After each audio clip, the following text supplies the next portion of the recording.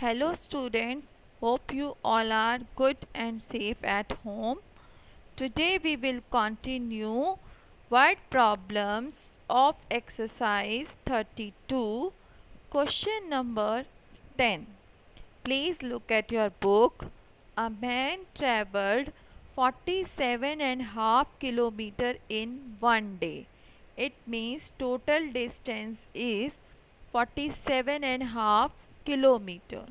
He covered 29 1 by 3 kilometer by scooter. Scooter scooter से वो distance cover कर रहा है 29 one by three kilometre at five by six kilometre on bicycle at by at five by six kilometre वो bicycle से cover कर रहा है and the remaining distance on foot और जो बचा हुआ डिस्टेंस है वो पैदल जाकर कवर कर रहा है।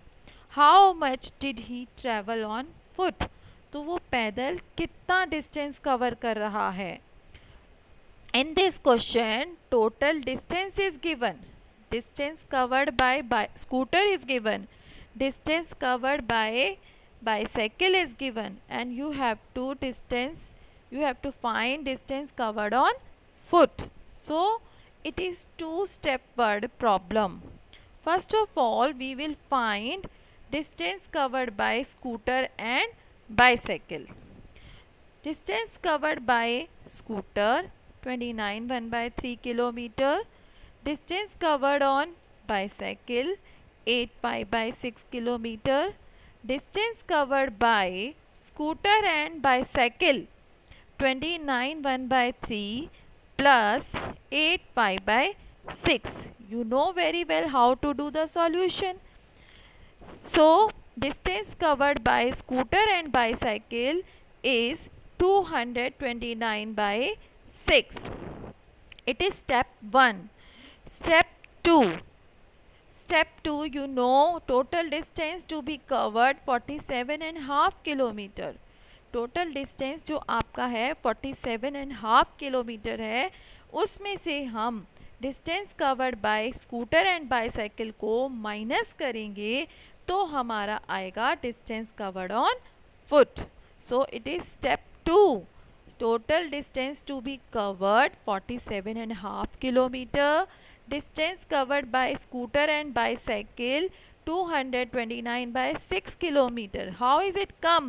By step 1 step 1 से आपका आया है 229 by 6 now you have to find distance covered on foot. 47 and half kilometer minus 229 by 6 kilometer. When you solve it the answer will come 28 by 3 it is improper fraction so we will convert it into mixed numeral. The answer is 9 1 by 3 kilometer. Now look at question number 11 a basket contains three types of 19 1 by 3 kg of fruits. तो total fruit जो basket में रखा है, वो 19 one by three K जी है और वो कितने टाइप का है? थ्री टाइप्स का।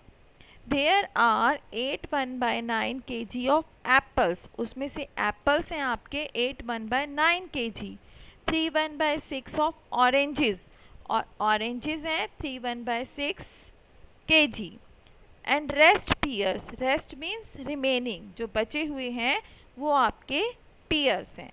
What is the weight of pears in the basket तो बास्केट के अंदर पियर्स कितने रखे हुए हैं? टोटल जो फ्रूट्स हैं, वो आपको गिवन है.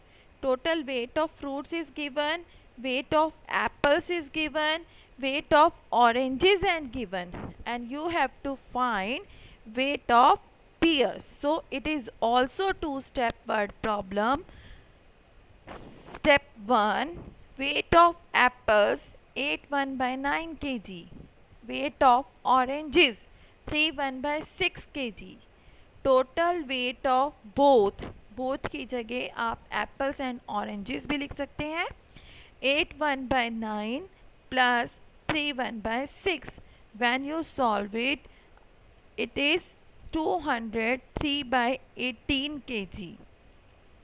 203 by 18 ये किसका वेट है? एप्पल्स एंड ऑरेंजेस का।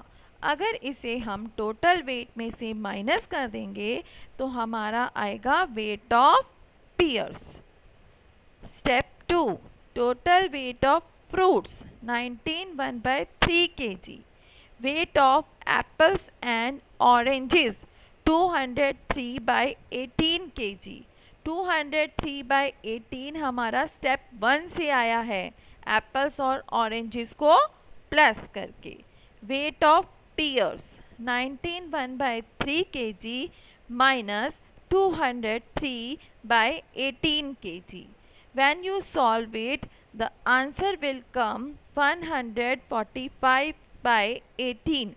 It is improper fraction so we will convert it into mixed numeral 8 1 by 18 kg is your answer. Hope you understand the concept of two-step word problem. Please revise and practice at home. Thank you and have a nice time.